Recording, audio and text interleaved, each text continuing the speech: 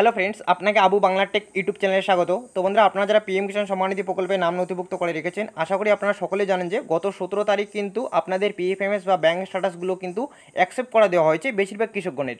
যেমন ধরুন, এই কৃষকের ক্ষেত্রে দেখাচ্ছে যে farmer record has been accepted by PFMS or bank এবং পিএফএমএস রেসপন্স ডেট দেখাচ্ছে সতেরো তিন দুই তো এখন কথা হলো বন্ধুরা, এই যে আপনাদের অ্যাকসেপ্ট করেছে, এটা নিয়ে আপনাদের নানা রকম সমস্যার সম্মুখীন অনেক কৃষকগণ হতেছেন। কীরকম সমস্যা, একটু আমি আপনাদের ডিটেলস জানিয়ে দিই। ধরুন আপনারা সকলেই জানেন যে এই পিএম কিষাণ প্রকল্পের টাকা কিন্তু আর ব্যাঙ্ক অ্যাকাউন্টে পাঠানো হবে না। মানে কৃষকদের এখন কিন্তু আধার বেস ট্রানজেকশন করে আধার সিটিং ব্যাঙ্ক অ্যাকাউন্টে বা ডিবিডি লিঙ্ক ব্যাঙ্ক অ্যাকাউন্টে কিন্তু টাকা ঢুকবে।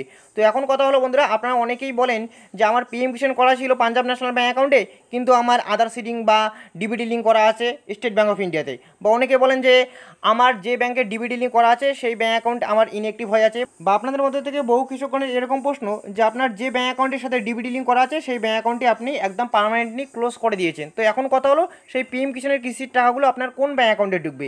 যে ব্যাঙ্ক অ্যাকাউন্ট দিয়ে আপনি এই পিএম কিষাণ প্রকল্পে আবেদন করেছিলেন, নাকি যে ব্যাঙ্ক অ্যাকাউন্টের সাথে আপনার ডিবিডি লিঙ্ক করা আছে, সেই ইনঅ্যাক্টিভ বা অ্যাক্টিভ ব্যাঙ্ক অ্যাকাউন্টে তো সবটাই বন্ধুরা আজকের ভিডিওতে একদম অফিসিয়ালি জানিয়ে দিব। তাই আশা করছি আজকের এই ছোট্ট ভিডিও অবশ্যই আপনাদের জন্য উপকারে আসবে। সো ভিডিওটি না টেনে সম্পূর্ণ দেখার অনুরোধ রইল। ভিডিওটি শুরু করার আগে আপনাকে যে কাজটি করতে হবে, সেটি হলো ভিডিওর নিচে লাইক বাটনে ক্লিক করে ভিডিওতে একটি লাইক দিয়ে দিন এবং পাশে থাকা লাল রঙের সাবস্ক্রাইব বাটনে ক্লিক করে চ্যানেলটিকে সাবস্ক্রাইব করে রাখুন। আর হ্যাঁ অল নোটিফিকেশন অন করতে ভুলবেন না। এই সমস্ত ভিডিও নোটিফিকেশন সবার আগে পেতে। তো বন্ধুরা দেখুন, আপনাদের মধ্যে থেকে যে সমস্ত কৃষকগণের বেনিফিসিয়ারি স্ট্যাটাসে পেমেন্ট মোড আধার হয়ে আছে এবং পিএফএমএস বা ব্যাঙ্ক স্ট্যাটাস অ্যাকসেপ্টেড হয়ে আছে মানে এরকম লেখা চলে আসছে যে farmer record has been accepted by PFMS or bank তো সেই সব কৃষকগণের ব্যাঙ্ক অ্যাকাউন্টে একদম হান্ড্রেড পার্সেন্ট আপনারা নিশ্চিত থাকুন যে আপনার ব্যাঙ্ক অ্যাকাউন্টে টাকা ঢুকবেই। তো এখন আপনারা অনেকেই জানতে চান তাহলে কোন ব্যাঙ্ক অ্যাকাউন্টে টাকা ঢুকবে? যে ব্যাঙ্ক অ্যাকাউন্ট দিয়ে আপনি পিএম কিষাণ প্রকল্পে আবেদন করেছিলেন, নাকি যে ব্যাঙ্ক অ্যাকাউন্টের সাথে ডিবিডি লিঙ্ক করা আছে? তো এই প্রশ্নের উত্তর অলরেডি আমি আগের একটা ভিডিওতে জানিয়ে দিয়েছিলাম বন্ধুরা, এখানেও আমি আপনাদের জানিয়ে দিই। দেখুন, এবারে কিন্তু পিএম কিষাণ প্রকল্পে আপনি কোন ব্যাঙ্ক অ্যাকাউন্ট দিয়ে আবেদন করেছিলেন সেটা আর কোনো ডাস নট ম্যাটার মানে সেটা আর কোনো আপনার পিএম কিষাণ প্রকল্পের স্টাটাসে বা পিএম কিষাণ প্রকল্পে কোনো প্রভাবই ফেলবে না। তার কারণ এখান থেকে দেখতেই পাচ্ছেন অ্যাকাউন্ট নম্বর কিন্তু সব কৃষকের ক্ষেত্রে বর্তমানে এমনটা দেখাচ্ছে যে এনে অর্থাৎ নট অ্যাভেলেবেল বা নট অ্যাপ্লিকেবল অর্থাৎ কৃষকগণেরা আপনারা কোন অ্যাকাউন্ট দিয়ে বা কোন আইএফসি কোড দিয়ে এই প্রকল্পে আবেদন করেছিলেন সেটা আর কোনো প্রভাব ফেলবে না।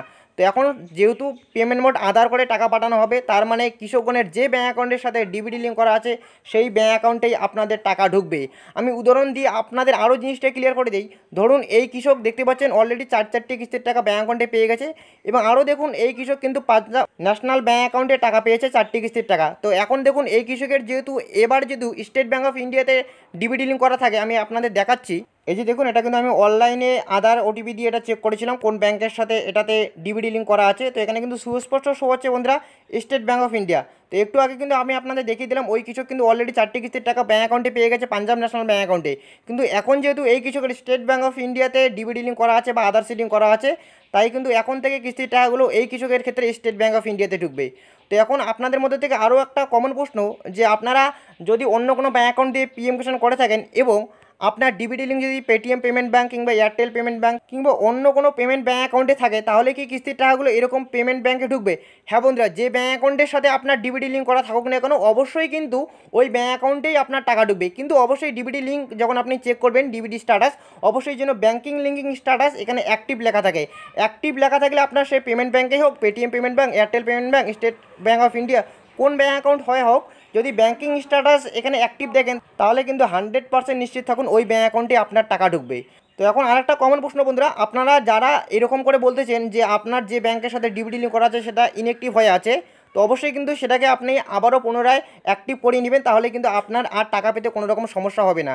আর একটা যেটা আমি একটা বারবার একটা একজনের কমেন্ট পেতেছিলাম, যে আপনি যখন আধার ওটিপি দিয়ে ডিবিডি চেক করেন, তখন দেখায় সেই জায়গায় কানাড়া ব্যাঙ্ক অফ ইন্ডিয়া কিন্তু আবার স্টেট ব্যাঙ্ক দিয়ে আপনি পিএম কিষাণ প্রকল্পে আবেদন করেছিলেন এবং স্টেট ব্যাঙ্কের আপনি ব্রাঞ্চে গিয়েছিলেন, ওখান থেকে ব্যাঙ্ক আধিকারিকগণ ওনারা জানাচ্ছিল আপনাদের যে আপনার স্টেট ব্যাঙ্ক অফ ইন্ডিয়াতে ডিবিডি বা আধার সিডিং করা আছে। তো সেই দাদার বা আপনাদের এরকম কারও সমস্যা হলে তাদের উদ্দেশ্যে একটাই কথা জানাতে চাই যে দেখুন, আপনি আধার ওটিপি দিয়ে যখন আধারের সাইট থেকে বা এম আদার অ্যাপ্লিকেশন থেকে যখন আপনি দেখবেন যে ডিবিডি লিঙ্ক আপনার যে ব্যাঙ্ক অ্যাকাউন্টে থাকবে, যদি আপনার ক্ষেত্রে কানাড়া ব্যাঙ্ক অফ ইন্ডিয়াতে দেখায়, তাহলে কিন্তু আপনি বুঝে নিতে হবে আপনার কানাড়া ব্যাঙ্ক অফ ইন্ডিয়াতেই এই পিএম কিষাণ প্রকল্পের টাকা ঢুকবে। যদি সেই ব্যাঙ্ক অ্যাকাউন্টে আপনার ইনঅ্যাক্টিভ থাকে, সেটাকে অ্যাক্টিভ করতে হবে, বা যদি আপনি ক্লোজ করে থাকেন, সেটাকে আপনাকে আবারও রিওপেন বা রিইকোয়াইসি করিয়ে কিন্তু ঠিকঠাক মতো অ্যাক্টিভ করিয়ে নিতে হবে ব্যাঙ্ক অ্যাকাউন্টটি আর যেহেতু ব্যাঙ্ক আধিকারিকগণ আপনাকে জানাচ্ছে যে আপনার স্টেট ব্যাঙ্ক অফ ইন্ডিয়াতে ডিবিডি লিঙ্ক করা আছে, না বন্ধুরা, যদি স্টেট ব্যাঙ্ক অফ ইন্ডিয়াতে থাকে, তাহলে কিন্তু অবশ্যই আপনাকে দেখাবে।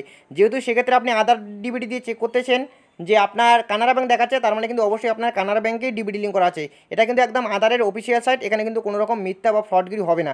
এখানে যেটা দেখাবে বন্ধুরা, সেটাই কিন্তু আপনাদের ডিবিটি লিঙ্ক ব্যাঙ্ক অ্যাকাউন্ট সেই কোন ব্যাঙ্ক আধিকারিকগণ কী বলল, সেটা কিন্তু আপনাদের দেখে কোনো লাভ হবে না। তো আশা করি আপনাদের সমস্ত জিনিসটাই বোঝাতে পেরেছি যে এর পরবর্তী থেকে থেকে কিন্তু পিএম কিষানের কিস্তির টাকা সব ডিবিটি লিঙ্ক ব্যাঙ্ক অ্যাকাউন্টে আসবে। সেটা আপনার পেমেন্ট ব্যাঙ্কে হোক বা অন্য কোনো ব্যাঙ্ক অ্যাকাউন্টে হোক। আর যদি আবারও বলতে চাই, যাদের ইনঅ্যাক্টিভ বা ক্লোজ হয়ে আছে ব্যাঙ্ক অ্যাকাউন্টগুলো সেগুলোকে আবারও কিওয়াইসি করে আপনি আবারও ঠিকঠাক মতো কিন্তু অ্যাক্টিভ করতে হবে, তাহলে কিন্তু আপনাদের আর টাকা পেতে সমস্যা হবে না। তো ভিডিওতে মূলত আপনাদের এইটুকু আপডেট দেওয়ার ছিল। এছাড়াও আপনাদের আরও কোনো কিছু জিজ্ঞাসা থাকলে সেটা কমেন্টের মাধ্যমে জানিয়ে দিতে পারেন, আমি যথাসময় উত্তর দেওয়ার চেষ্টা করব। এছাড়াও আমাদের হোয়াটসঅ্যাপ গ্রুপ এবং টেলিগ্রাম গ্রুপ আছে, সেখানেও আপনারা যুক্ত হতে পারেন এবং আপনার কোনো সমস্যা থাকলে সেটাও সমাধান করে নিতে পারেন। তো ভিডিও উপকারে আসলে অবশ্যই একটি লাইক এবং বন্ধুদের সাথে শেয়ার করে দিয়ে ততদিকে চলে দিবেন ততদিনে ভালো থাকবেন, সুস্থ থাকবেন। দেখা হচ্ছে খুব শীঘ্র পরের ভিডিওতে। ধন্যবাদ।